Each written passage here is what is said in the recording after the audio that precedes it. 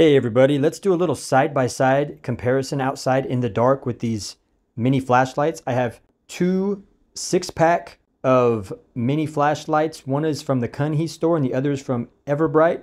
And they're pretty similar. They both come with batteries. They're both a six-pack. They're both about the same size, but they do have a little bit of difference in the light that they shine. One of them has more of a spotlight and the other one has, it, it's more of a wide range of light. So let's go outside and it's dark and windy right now.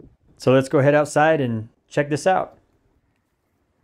As you will see that the EverBrite flashlight, it has more of a spotlight. You can do that bat signal with. The Kunhi flashlights, they have more of a wider, kind of a softer light to them. They don't have a spotlight. It's they're not necessarily dimmer.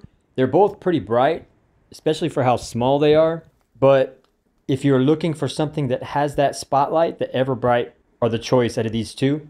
And if you're looking for something a little wider and softer and maybe not something so blinding, if you're going to be shining it at people, people are going to be seeing the other end of it, then the Kunhi flashlights are going to be more suitable for that. They both have a nice feel to them. They're real small.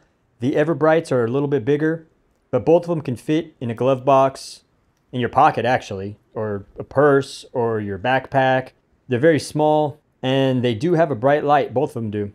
Both of them do come with batteries, and they do contain a drawstring that you can wrap around your wrist. So let me give you a nice long look at this, and I hope you have yourself a good day. Take care.